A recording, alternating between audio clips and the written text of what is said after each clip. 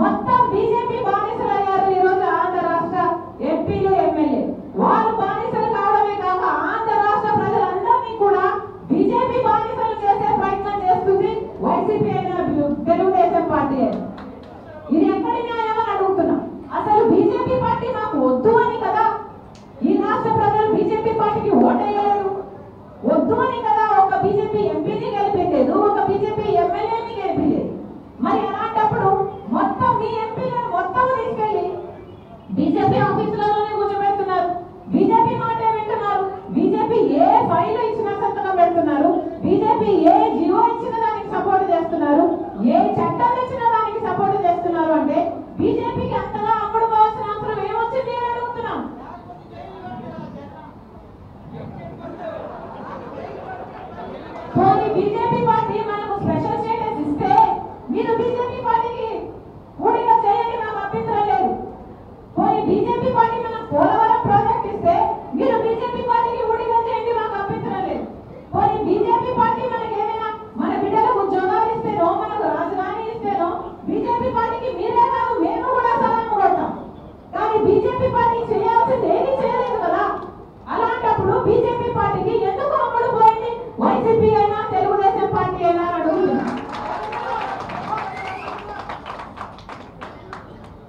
BJP party ఒక మతతత్వ party కాబట్టి రాజశేఖర రెడ్డి గారు ఎప్పుడూ బీజేపీని వ్యతిరేకిస్తూనే వచ్చారు.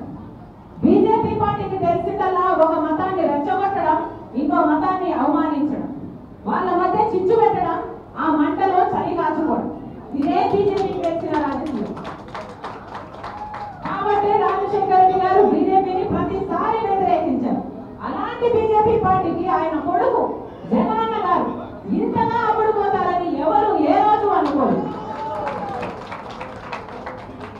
మళ్ళీ చెప్తున్నా మళ్ళీ చెప్తున్నా. బీజేపీ పార్టీ అధికారంలో ఉంటే మణిపూర్లో జరిగిన సంఘటనలే మళ్ళీ మళ్ళీ జరుగుతాయి ప్రతి చోట జరుగుతాయి.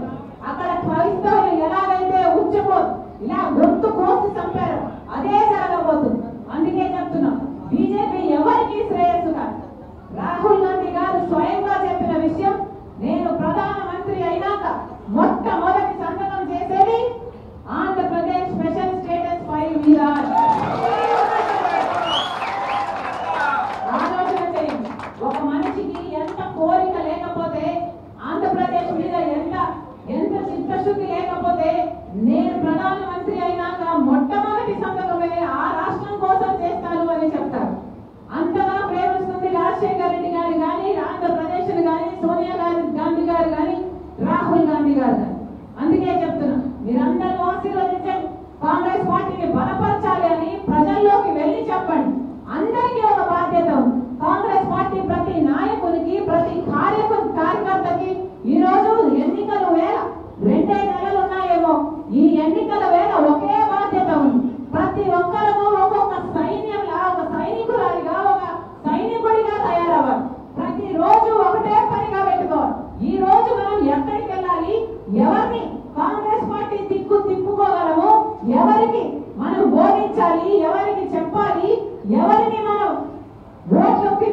ఓట్ల కాంగ్రెస్ పార్టీకి ఓటు వేసు పెరిగేటట్టు ఎలా చేసుకోగలము అని ప్రతి కాంగ్రెస్ కార్యకర్త ఆలోచన చేసి ఈ రెండు నెలల పాటు ప్రతి ఒక్కరు చేయగలిగిన కృషి మీరు చేయండి.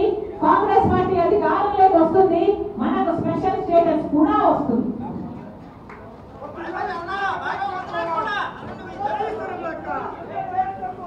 మరొకసారి మరొకసారి రాజశేఖర రెడ్డి బిడ్డ వచ్చింది అనగానే ఇరవై నాలుగు గంటలు కూడా మీకు టైం ఇవ్వలేదు.